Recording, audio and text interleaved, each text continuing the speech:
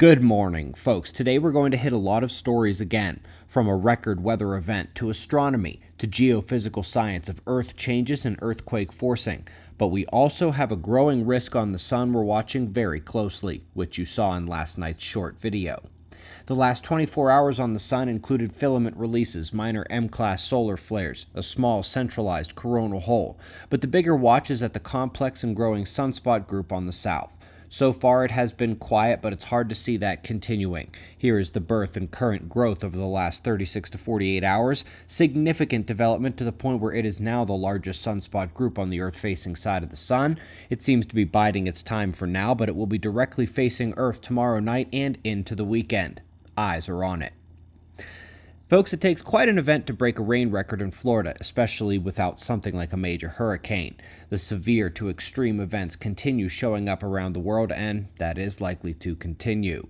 Heading out to space next, where Chandra's looking at all the nearby stars to determine which ones are not only likely to have exoplanets, but which stars are not so furiously active as to destroy the atmospheres of those exoplanets. They are mapping that now interesting one out about hypervelocity stars ejected from stability by a nova event interaction.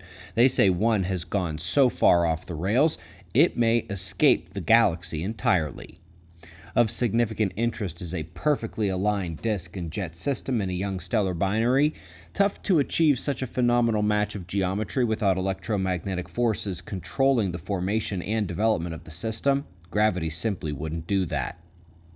Excellent study here, showing how vulnerable the AMOC is to disruption. Yes, that same one that can cause rapid ice age conditions, the same one weakening right now, the same one thought to collapse in the coming years, and the same one that will be even more impacted when the Beaufort Gyre releases.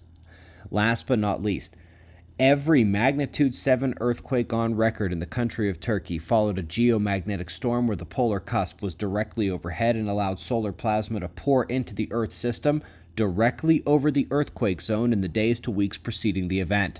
The papers on solar impact on earthquake activity have surged this year to a level never seen in the journals before.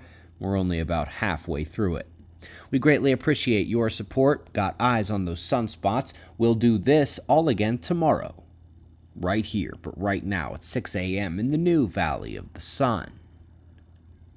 Eyes open. No fear. Be safe, everyone.